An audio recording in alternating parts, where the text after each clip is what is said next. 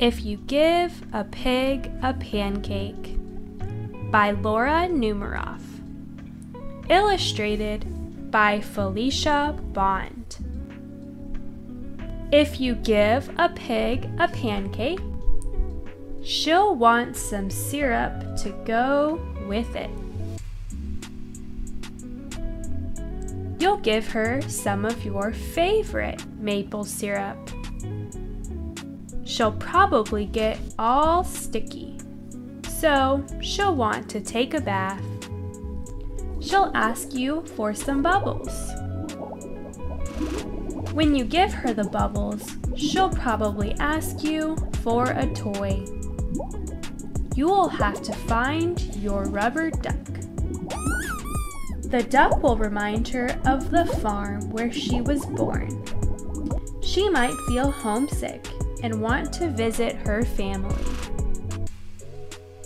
She'll want you to come too. She'll look through your closet for a suitcase. Then she'll look under your bed. When she's under the bed, she'll find your old tap shoes. She'll try them on. She'll probably need something special to wear with them. When she's all dressed, she'll ask for some music. You'll play your very best piano piece and she'll start dancing. Then she'll want you to take her picture.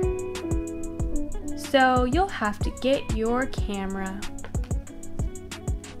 When she sees the picture, she'll ask you to take more. Then she'll want to send one to each of her friends. You'll have to give her some envelopes and stamps. And take her to the mailbox. On the way, she'll see the tree in your backyard.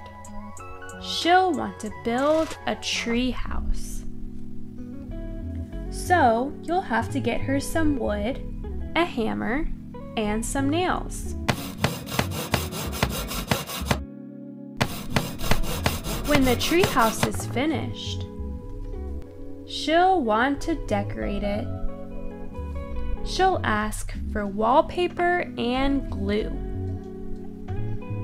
When she hangs the wallpaper, she'll get all sticky.